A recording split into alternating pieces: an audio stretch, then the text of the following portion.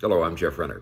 My connection with Paths to Understanding began back in roughly 2016. Now, I had just retired from my work at King Television, and I was talking to a friend, and he said, You know, Jeff, I was talking to a mutual friend of ours, Father Bill Treacy, and he tells me you're going to come to work for him.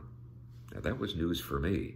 Now, I knew Father Treacy very well. As leader of a faith group, we'd held numerous retreats at what was called Camp Brotherhood and come to greatly respect his work in bringing together people of vastly different backgrounds, Palestinians and Israelis, Christians, Muslims, and Jews, to see not only the worth of their own faith tradition, but also to see the worth of others, that there was a wisdom there that they could benefit from, that they were no longer others, but they were becoming friends. And there are numerous stories of this.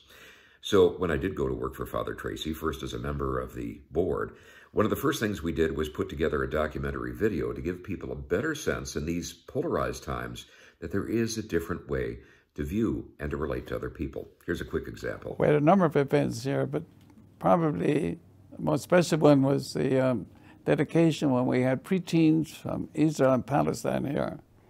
I've been with them and watched, uh, congratulate the parents who flew them over here this far, plus organizations that helped to sponsor but um, uh, it was wonderful to hear them talk to each other.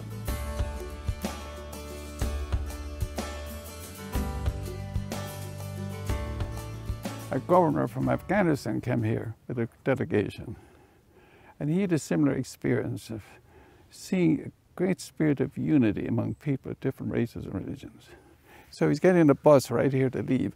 He got off the bus and put his arms around me and said, you and I are all going to be friends. So I figured if you get a Muslim governor's arms around a Catholic priest, there's hope for the world.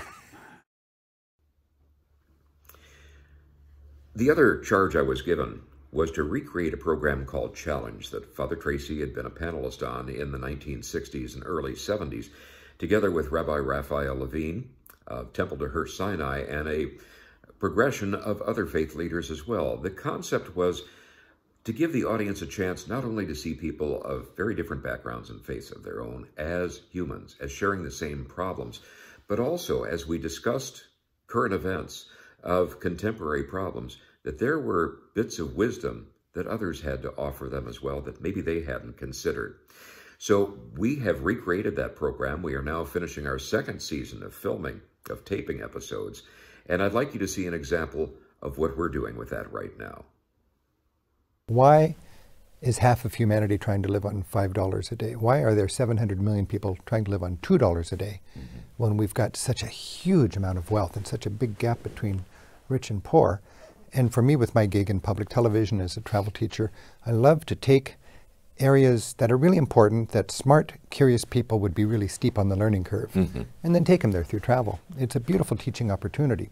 Um, this last summer, I had the opportunity to go to Eastern Europe and spend some time in Prague and Budapest. Um, and so, spending time in the um, the traditional Jewish spaces there, mm -hmm. seeing some of the Holocaust memorials, um, really was brought it home for me in, in more of a personal way um, than I felt, I think, thus far in my life. So Challenge 2.0 is just an example of the many programs that Paths to Understanding is creating and performing and providing to our overall community in Washington state. If you would like to be a part of this, if you believe that we cannot be fully human unless we enable others to become fully human and respect them for that, then I think you belong with us. We'd like to have you join us because it gives you an opportunity not merely to follow the arc of history and social trends, but to bend it and to bend it in a positive way. Come join us.